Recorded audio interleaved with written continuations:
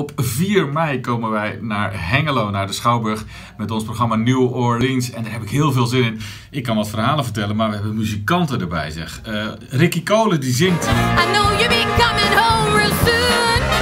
Yeah, real soon. We hebben Ivan Perotti, nog zo'n mooie zanger.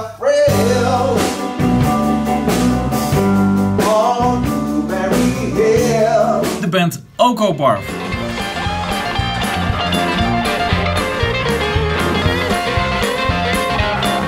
Onze toetsenist heet Roel Spanjers. Ik denk een van de beste New Orleans pianisten in Nederland. En hij zingt ook nog eens geweldig.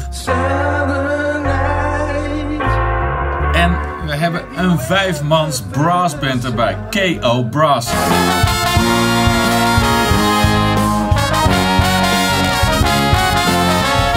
Wordt fantastisch. Kom kijken.